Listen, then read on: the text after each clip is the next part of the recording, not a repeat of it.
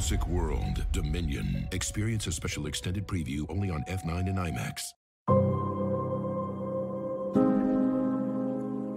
It's a short film that takes place in between Jurassic World Fallen Kingdom and Jurassic World 3. Is it a bear?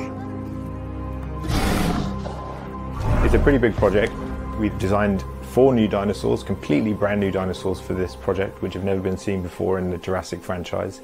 In a way, we've opened up the ILM model shop again, which has been a real pleasure to do, and I know that ILM have a great history of building physical props. So we 3D printed our digital models of our dinosaur heads.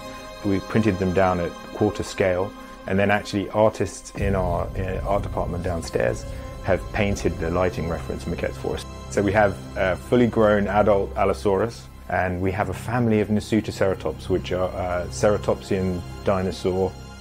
And so there's a male and a female adult, and there's a baby. The baby Nasuto is, is super cute. It's always fun. And it's something very, very different from what we do with the other big dinosaurs. It's a baby one! You get these cute little babies, and it gives you an opportunity to do something different with them, which is a lot of fun and, and kind of fresh for us, which is great. The big thing that we're doing here is actually using a lot of virtual production. Stagecraft's been a really big part of the process that we've adopted here to help Colin Trevorrow prep for the film, and we actually treated it like a real shoot.